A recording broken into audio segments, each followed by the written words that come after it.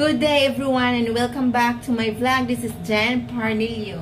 So, ngayong araw na po ito ay magluluto po ako ng pork steak para sa aking lunch. At isi-share ko po sa inyo kung paano ko niluluto yung pork steak ko. Let's go guys!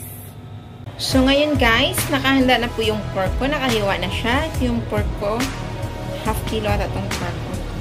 Tsaka, isang pirasong onion. Yung onion mo para mamaya. Tsaka may lemon ako. Ganito kalaki yung lemon para pang pasim. And then, so I'll use this, the Peru black pepper. So the black pepper we have to put now. So, pwede din ramihan o kung depende sa inyo kung gaano karami ilalagay. Yan. And then, so, Maglalagay din ako ng, dito siya kasi, ano siya, black pepper din, uh, pepper din at saka ano. Ginagamit ko to palagi. Pepper, eh, tsaka salt and pepper. So, para may timpla. Yun na yung pinakatimpla ko.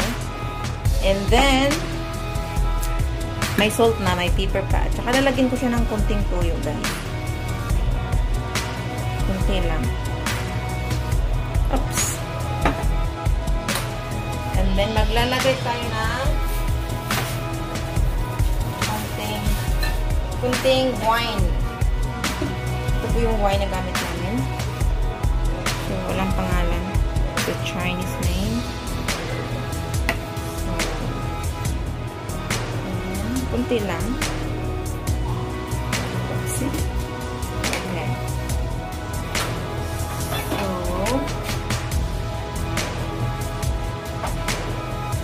Ma-marinate natin.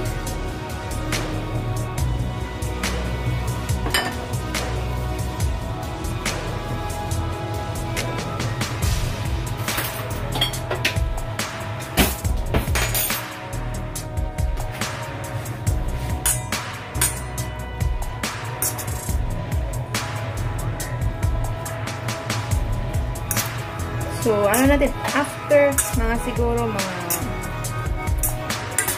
minutes muna. Marinate natin saglit bago lutuin.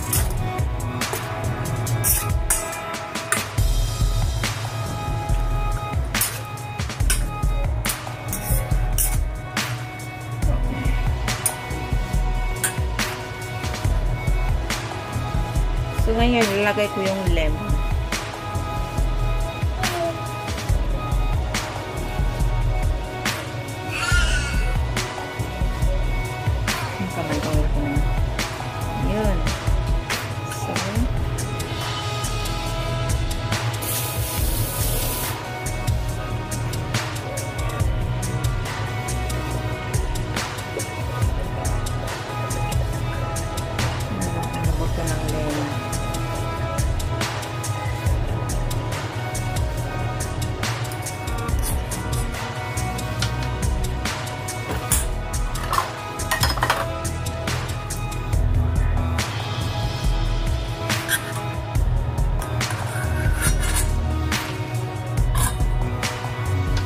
Let's marinate this.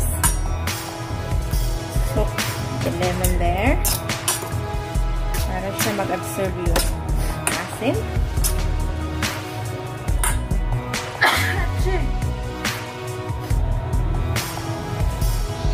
So, ngayon ay na-marinate ko na yung pork and let's start cooking guys.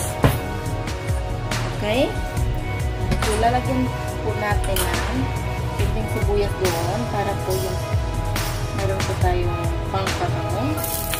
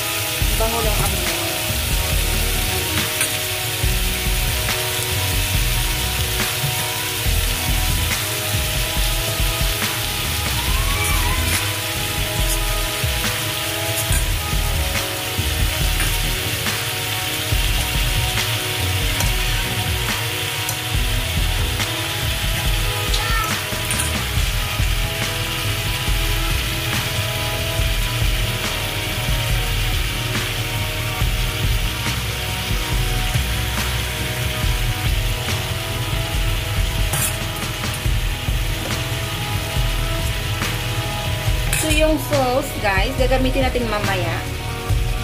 Kapag nag, ano na siya, kailangan natin i-brown muna siya. So, let's do the high fire.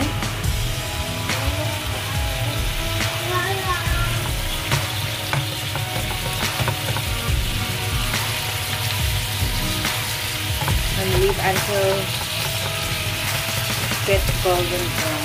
Yung magaan na siya, magpa-brown siya.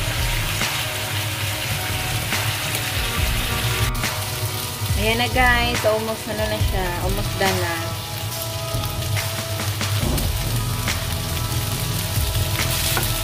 Gusto ko yung medyo brown brown yung konti. Diba brown natin konti. At okay na siya, ilalagay na natin yung ilalagay na natin yung sibuyas at saka itong sauce. Ayan. Mag-brown brown na siya. Ilagay na natin yung sauce. Silo, come here. Ito yung.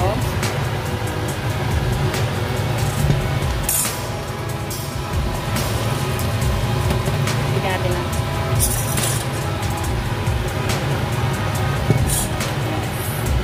Diba? Lagay natin yung Nandyan na yung sauce natin.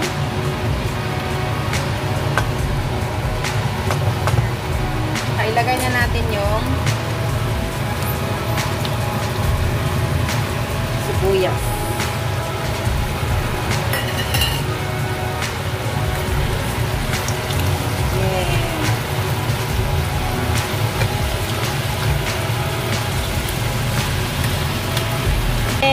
Serve na siya guys. Luto na.